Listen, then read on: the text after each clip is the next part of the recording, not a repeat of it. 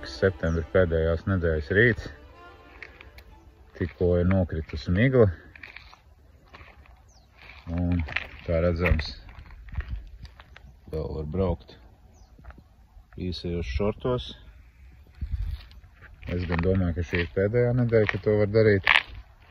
Lai vai kā esmu krustcelēs. Krustcelēs, kur apmēram tur atrodas stāmirienu. Tur kaut kur ir mans lauka mājas. Un šeit uz abām pusēm iet dzelzceļš ieriķi Viļaka. Gāja kādreiz dzelzceļš no īstenībā no ieriķiem uz Ļeņingrādu, toreiz Sanktpēterburgu. Uh, nu, šobrīd dzelzceļš ir jau vairākus 11 gadus nojaukts un saucās zaļais dzelzceļš, pa kuru var braukt ar riteni. Tātad veloceliņš un nu, uz to pusi esmu braucis jau līdz Jaunpiebalgai, tālāk pārbraucis uz ērgļu zaļo dzelzceļu, lai tiktu uz Rīgu. Nu, un uz to pusi balvi, Vīksne, nu tālāk gan es neesmu pa dzelzceļa šo te līniju braucis, jābrauc, jāskatās, jāpēta.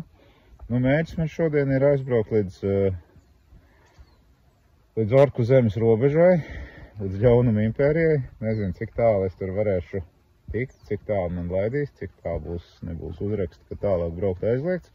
Nu, paskatīsimies, dzelzceļš oficiāli saucās uh, Vīģaka, kādreiz gāja vecum, vecumu vilciens no Rīgas uz vecumiem. Vecuma stacija, cik saprotu, vēl eksistē, bet kas tur ir tālāk, to es nezinu. Nu, brauksim, skatīsimies.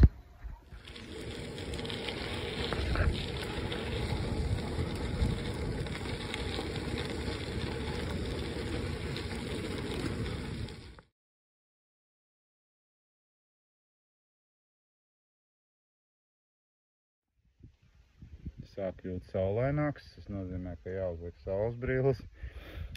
Litenes stacija.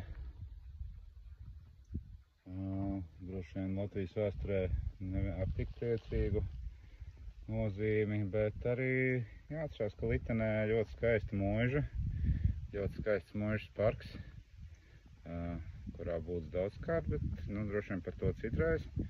Tagad jādodās tālāk uz priekšu. Tur uz priekšu mums būs ļoti smuks tilts pār Pedeģes upi.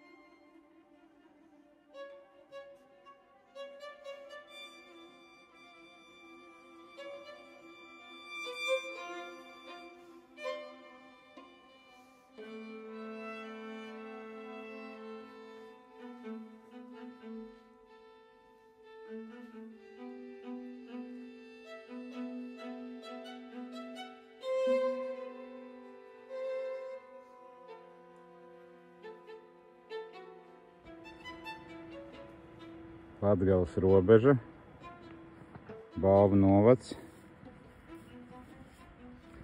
tilts pāri, šobrīd neatceros, kā šo upi sauc, Sita, jā, Sitas upe, šāda te šālīte mums iet pāri, bet arī ļoti patīkama, smuka vieta, vieta, kur atpūsties paskatīties uz aizsprostu upē.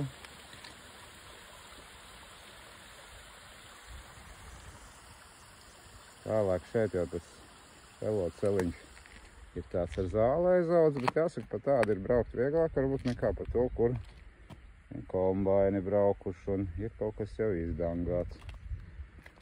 Tā kā dodamies tālāk.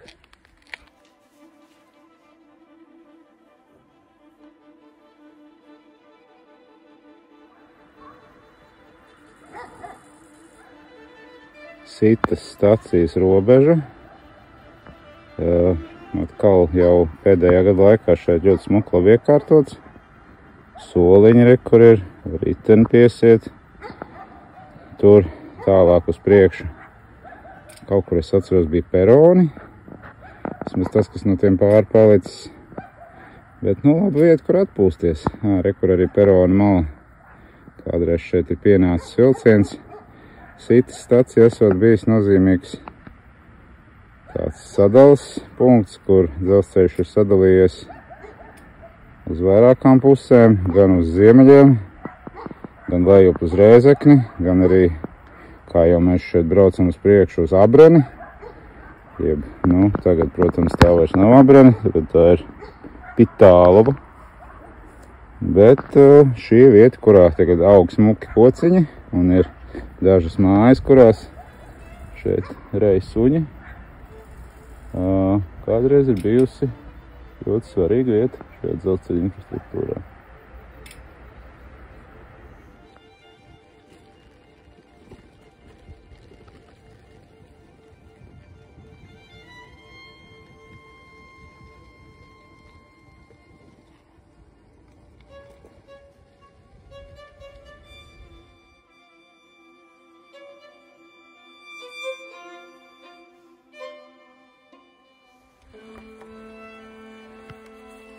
Ir vieta, kurā es arī iepriekš esmu jūties drusku apmulsis un nevar saprast, vai tas ceļš tur turpinās, vai tomēr neturpinās.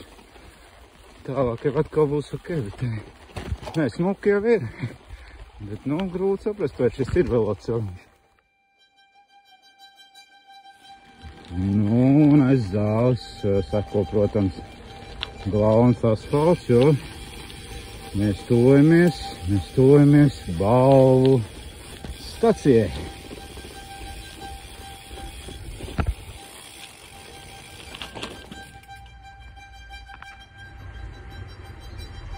Lūk, balvu stacijas kādreizējais perons. Toreiz pokiem bija pats stacija. Nu, negribās ļoti līst klāt, tur vīri strādā ko mēģina glābt tā ēka. Nu, jāsaka, gan savā sākotnējā izpildījumā, gan arī šobrīd stāvoklī, protams, ir briesmīgi.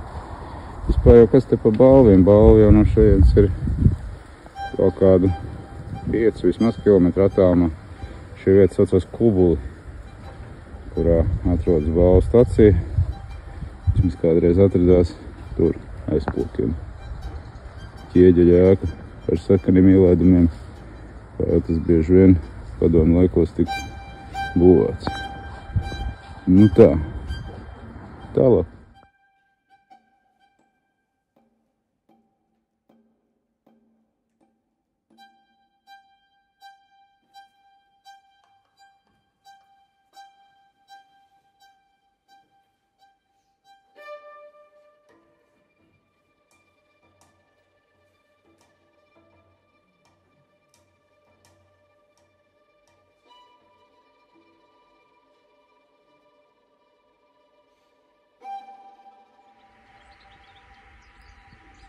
Dīksnes stacijas vieta, ar ko man šī vieta asociējās. Nu, ar to laikam, ka pagājušajā, pagājušajā viesošanās reizē, kas te bija, veikalā nebija ūdens. Ir liels izbrīns, kad es gribu ūdeni. Kurš tad pērk ūdeni? Šņābis, pelmeņi, saldējums, to es arī nopirku. Bet vieta simpātiska. Iedomājos, kā šeit kādreiz klusējas dzīve. Apkārt, kur stacijas māja. Ne, tā nav stacijas māja, bet māja pretīm stacijai, kur šeit cilvēki katru dienu ir vērojuši, kā pienāk vilciens un jā, jau zinājuši no galvas, kas kad atbrauc, kas kad aizbrauc, kas tur vispār notiek. Jā, tā arī ļoti skaisti pareizticīgo baznīcu, kurai tūlīt brauksim garām.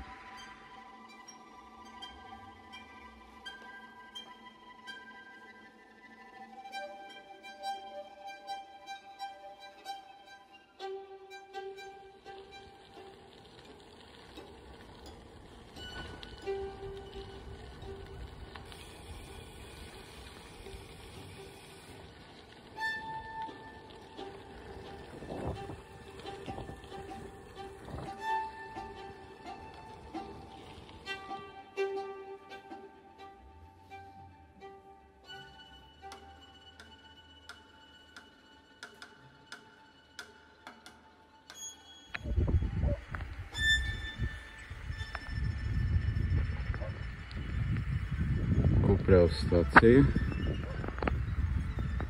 Kā redzams, saglabājusies arī ēka, kurā ir dzīvojumā māja. Jau otro reizi šķērso Latgals robežu. Izrādās, ka vīksni bija atpakaļ vidzemē pēc balviem. Kupravā vienreiz ir būts tāds privāta māja, maza mājiņa un mikrorajona vieta. Um, jā, īstenībā tālāk pa šeit es nekad neesmu arī braucis. Kuprava ir tas galējais punkts, kuris arī ten es kādreiz arī atbraucis. Tā kā tālāk būs interesanti, kaut kas jauns.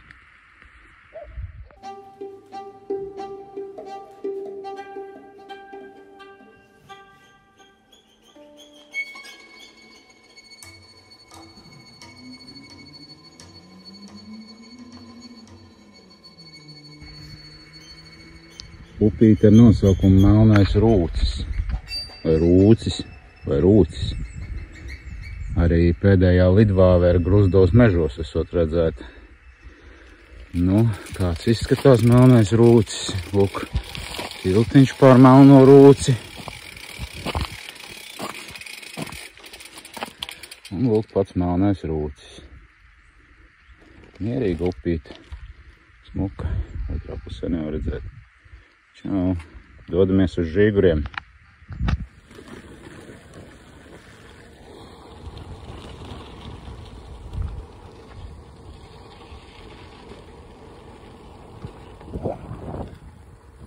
Tuvojamies žīguriem.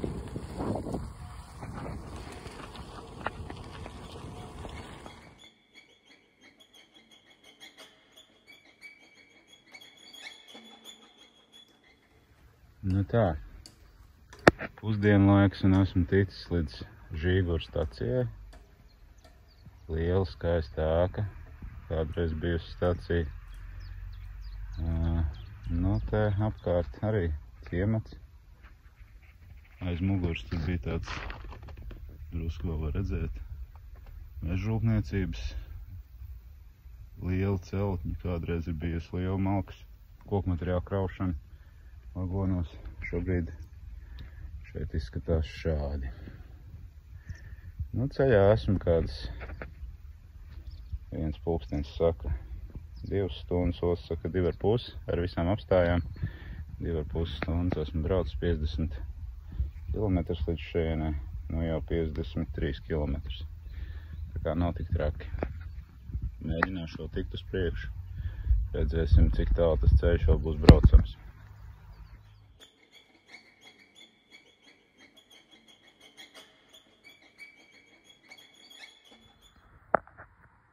Jā, nu šo uzrakstu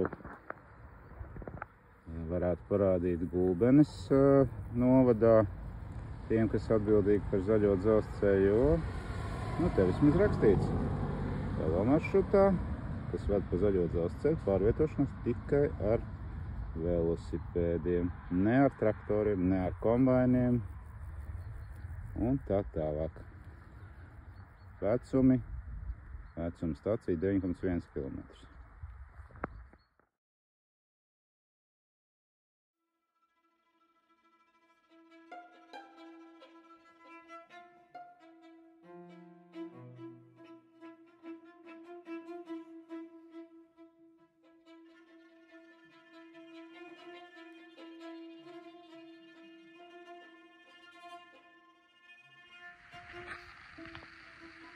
Kādus 5 km aiz vecumiem dzelzceļš vairs nav dzelzceļš.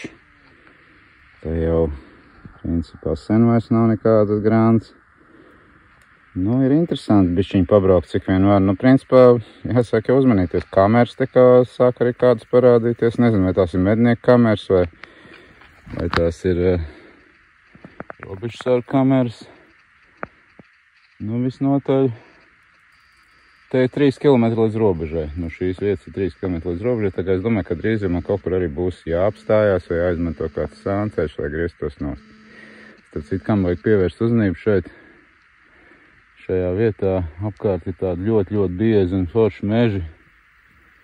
Tā saucamie vecumu meži. Viņi arī kartē redzam, kā tāds zaļš liels laukums.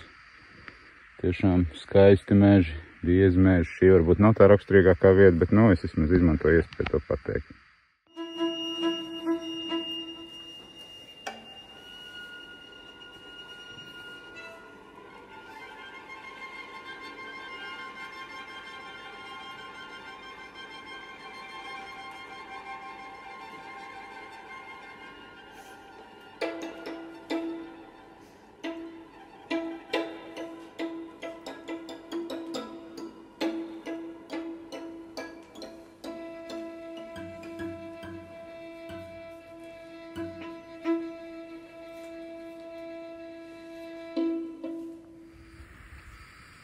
Nu tā, tur tālumā sīc elektrība.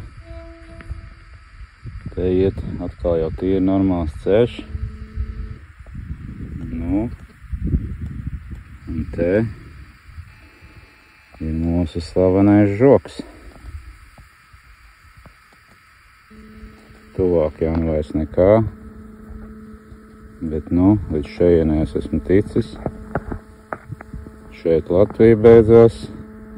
Tur ar to zaļo, sarkano sākās orki.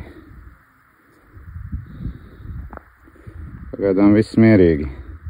Nu, lūk, tuvāk Krievijas robežai laikam es nekad neesmu bijis. Braucam atpakaļ. Mission completed. Tuvojos oficiālajiem robežas šķērsošanas punktam. Lūk, kur tas ir. Rindas, rindas ar autobusiem. Rindas, rindas ar autobusiem, ar mašīnām. Visi gaida. Visi gaida, visi gaida uz Krieviju. Gaida, gaida.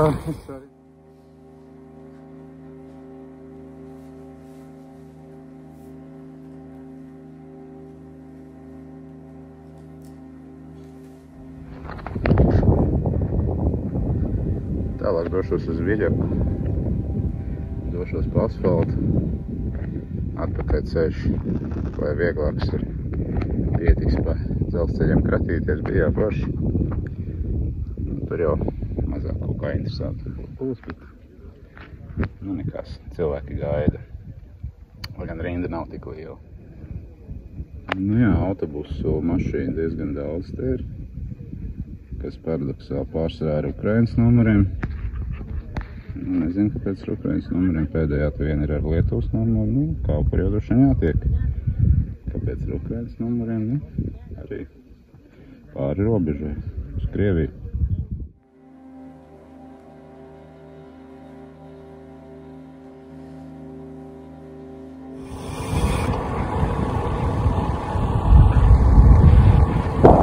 Izcils asfalts uz Krievijas robežas.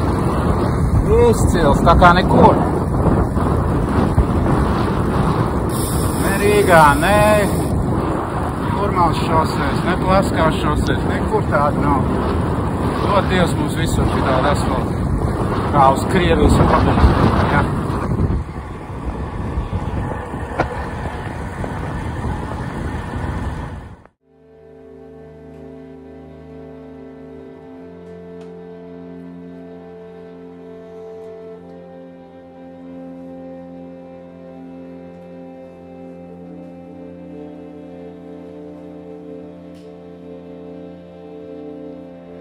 Viļaka. Nu, jā, ļoti skaista pilsēta. Ezers te, līdz kuram es nebraukšu šodien. Un uh, skaista baznīca, ko tikko varēja redzēt.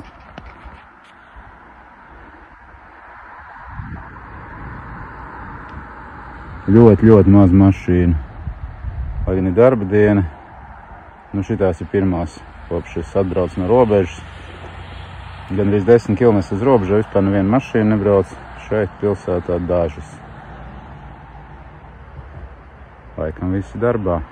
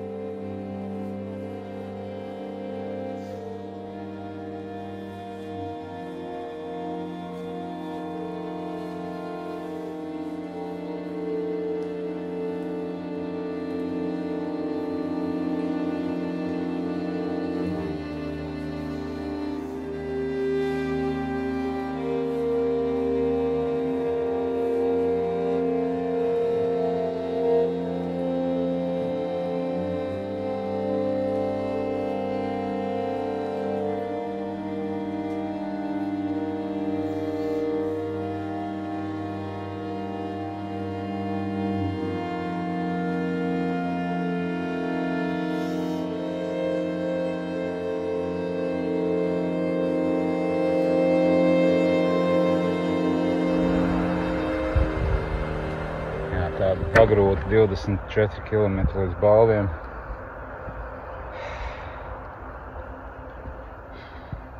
Visu laiku kalnā laikam sanāca un pretvējuši. Negribas jau tā visu laiku izklausās, ka sūdzēšanās, bet grūti bija. Karsti, grūti. Bet forši sameklēšu kaut ko laikam tomēr apēst, iedzert vēl līdz mājām. Pēc tam pēdējie kilometri pa šosei kādi 25, 30. Jāsataupa bišķi spēki. Galva. Tā jau ir būts daudz.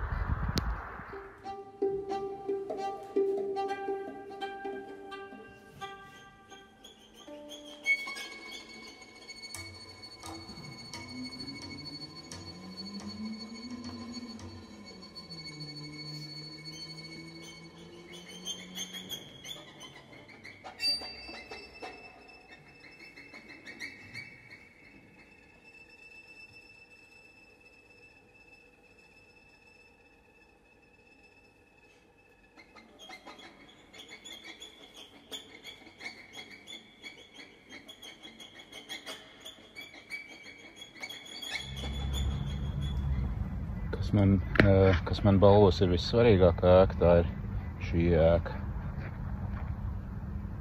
Jo tajā 15. jūlijā piedzima mans dēls Vāris. Balvu slimnīca, dzemdību nodaļa.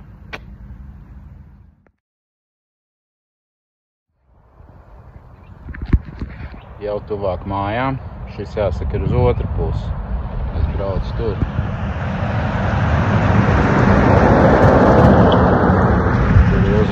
Gulbenes rajons. Tātad nav jau vairs tik tālu. Pēdējo reizi šodien izbraucu no Latgals.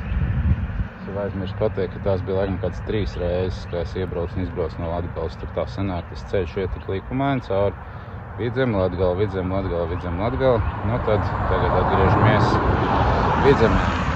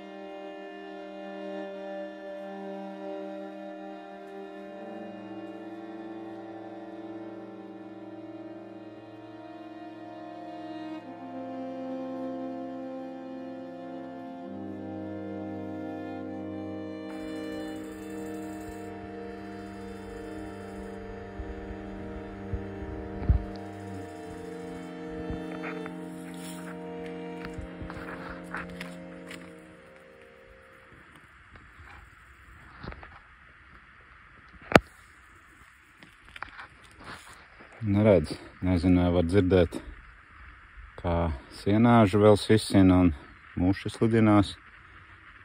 Es esmu atgriezies sākuma punktā. Nu, man tas prasīja septiņas stundas. Nav vēl pat vakars, pulkstens pieci pēcpusdienā. Vēl var mierīgi pavadīt vakaru, iekurināt pirti, atpūsties. Tāds foršs velo aplīts.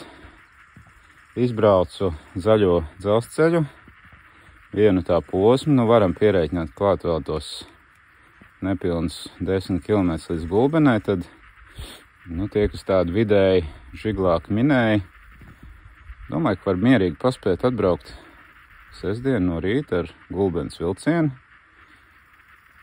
izmīt šo te aplīti. Nu, man tās septiņas stundas sanāca vēl ar visu šo te mūdēšanu, filmēšanu un, un drusciņu atpūšanos. Domāju, ka ja jūs neko te nefilmēsiet, tā kā es un ne, ne, nerunāsiet, tad varat arī vēl kādu kafēnīcu pa vidu ierēķināt vai veikalu. Un uh, diezgan labs pasākums. no Gulbens pa zaļo dzelzceļu līdz Krievijas robežai, atpakaļ pa šosei, vai kā gribās, var arī tāpat. Tā kā viens no tādiem uh, maršrutiem, kas ir netraucēts no satiksmes lielā mērā, ja vien nebraucat pa tiešām šosejām. Jāsaka, normālā stāvoklī šobrīd. Nu, vietām bija kādas trepītas vai bedrītes, bet nu nekas tāds krimināls. Cik atceros uz gulbens pusi, tur ir drusciņi sliktāk. Tā kā jauki, es arī atpūtīšos, baudīšu vakaru un uh, ceru, ka jums šī informācija būs arī noderīga kādiem jūsu braucieniem. Lai forši diena! Paldies!